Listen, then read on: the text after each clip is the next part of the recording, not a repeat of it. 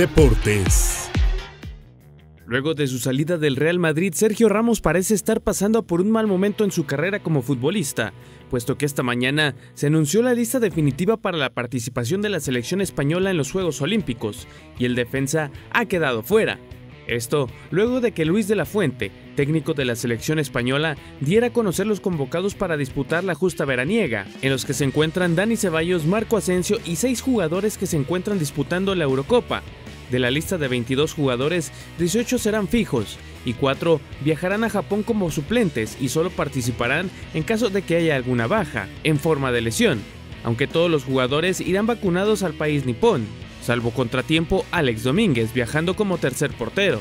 Los seleccionados quedarán concentrados el día 30 y al día siguiente se ejercitarán en las instalaciones de la ciudad del fútbol antes de desplazarse a la localidad de Alicantina, en Benidorm, donde realizarán la preparación previa a los Juegos.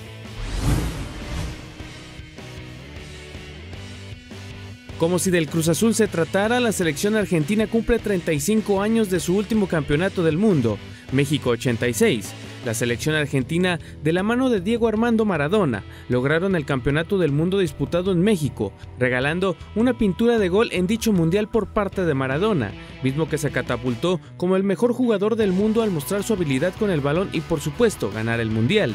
El 29 de junio de 1986, en el Azteca de México, la selección de Carlos Salvador Vilardo hacía historia. Ese día fue el final de un camino que había comenzado con dudas, muchas críticas, en algunos casos con razón, acompañaron esa etapa de Narigón en la selección, pero el Mundial fue otra historia. Después de esto, la selección de Argentina no ha podido imitar lo hecho por Maradona, incluso con el llamado mejor jugador del mundo, Leo Messi, quien no ha logrado acercar a la selección albiceleste a lo que un día fue con Maradona.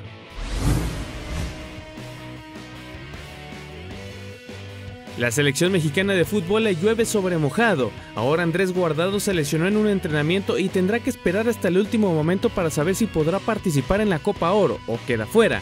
El mediocampista de la selección mexicana presentó una lesión muscular en la pierna izquierda, lo que lo deja descartado para la Copa Oro de momento.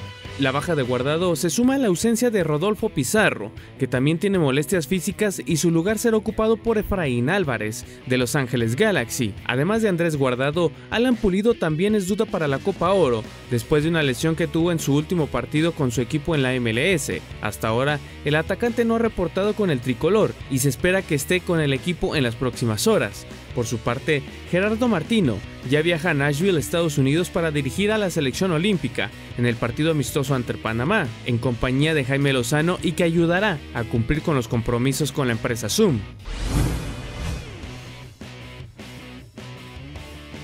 Hablando de la selección mexicana, en las últimas horas se ha dado a conocer la postura del Tuca Ferretti sobre la dirección técnica de la selección, misma que ha sido contundente. Una selección debe ser dirigida por un técnico del mismo país. Esta declaración surgió luego de que recordara que le ofrecieron la selección mexicana por cuatro años, misma que rechazó. No estoy de acuerdo, todos saben mi mentalidad, que una selección de un país debe ser para gente que nació en ese país. Sigo pensando que el entrenador de la selección mexicana debe ser mexicano y que los jugadores deben ser mexicanos, nacidos en el país, comentó Ferretti. No me ofrecieron un año, me ofrecieron cuatro. Lo rechacé porque siempre defiendo lo que acabo de decir, comentó Ricardo. La situación de un entrenador extranjero en una selección de otro país habla de inestabilidad de los entrenadores de ese país. No hay en México entrenadores que tengan una regularidad. En siete u ocho jornadas ya hay entrenadores despedidos, agregó el Tuca. Ferretti actualmente prepara la pretemporada de su nuevo equipo, los Bravos de Juárez, para iniciar actividades a mediados de julio.